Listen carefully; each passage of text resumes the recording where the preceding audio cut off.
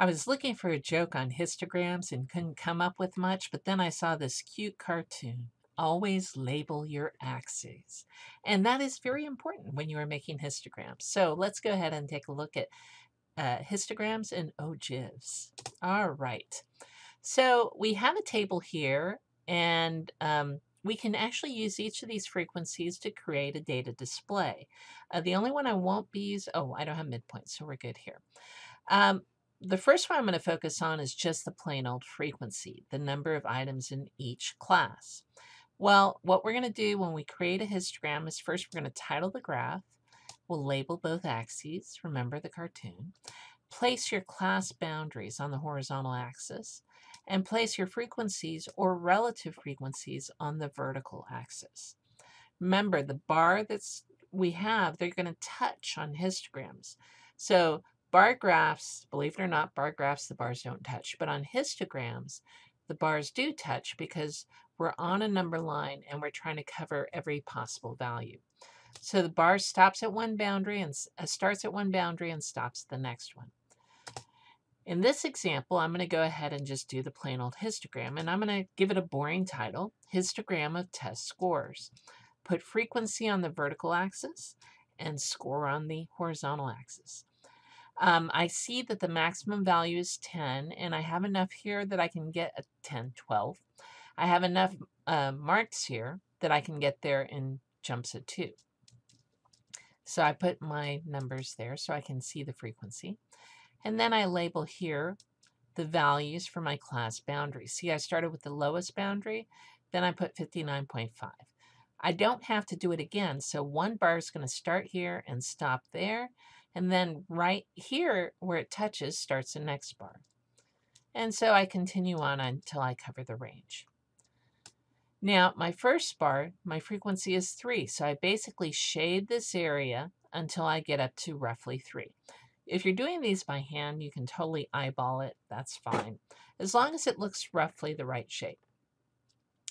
The next one has a frequency of 5, so it should go up to here. Uh, the next one has a frequency of 12, so it's going to reach all the way to this top bar.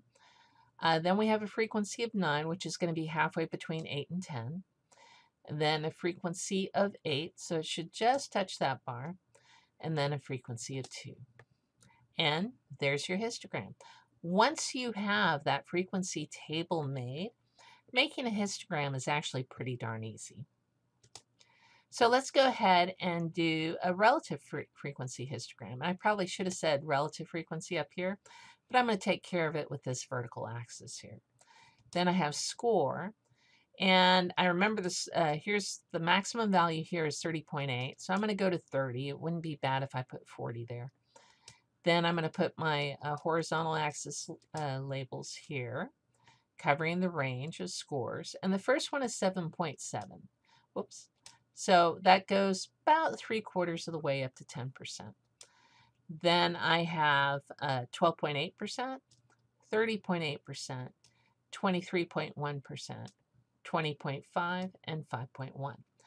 You should notice that this histogram is very similar to the one we just made for just plain old frequencies. The only difference is the vertical scale, since I'm looking at percentages now and all these values add up to 100%. Whereas the previous thing, we just actually had all of the frequencies, so it was the total count. Now, you're also expected to describe histograms, and we usually refer to their symmetry or the modality. And symmetry is how much both sides are the same when we fold the graph in half. And if it, if it is not symmetric, it is usually skewed. Now, modality refers to the number of distinct peaks. If it has one peak, it's called unimodal. Okay, so this is a very popular distribution shape right here.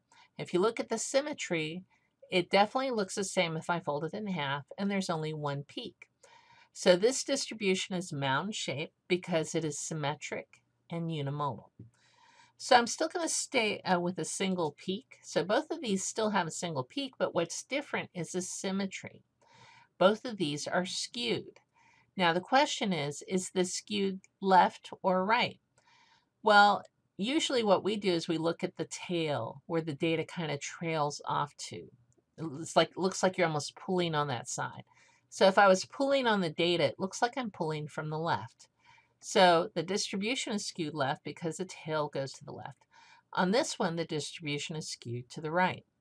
Now, the real way to tell skew is if I were to actually average all these data points, I would look, first of all, where is half of the data points? What line splits my data points in half? And it might be around here somewhere, right? But my average is going to be a little bit skewed to the left because of these higher values, all right? Same thing here. The half of my data points probably stops around here somewhere. And but my average is going to be a little bit higher. It's going to be to the right. And that's why we talk about skewed left and skewed right. Now, two other shapes you will encounter in uh, histograms. One is called a uniform or rectangular distribution because the frequencies are almost the same. A great example of this is if I was rolling die, which is more likely, rolling a 1 or a 6? Well, hopefully you answered they're equally likely. So that means that the probabilities for each of the uh, classes should be the same. If you see a distribution like this, it's called bimodal. And that's because there are two peaks. And this happens a lot when we have a combined two different populations. A popular example would be, say, the heights of both of all the bas basketball players in a school.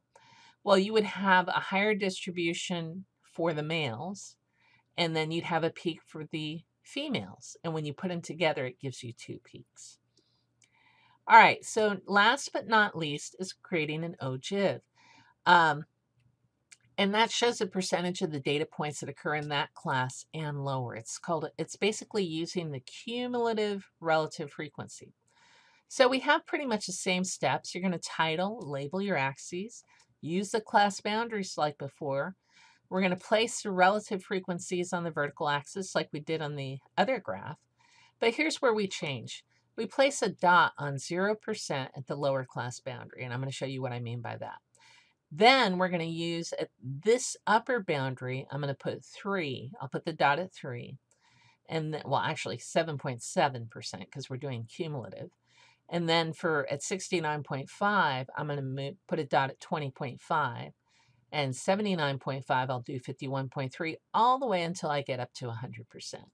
So place a dot for the class frequency over the next class boundary. So for this class, I put it over that boundary. Connect the dots with segments and you're pretty much done. So here we have cumulative relative frequencies of test scores. And there's, I label my axes.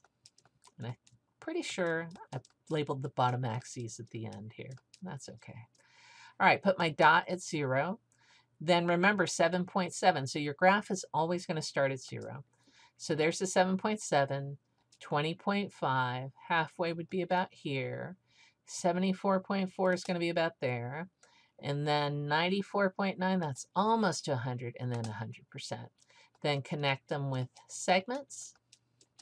And there is your ogive. And don't forget, label both your axes. You don't want to have you don't want to lose an axe and have it unlabeled.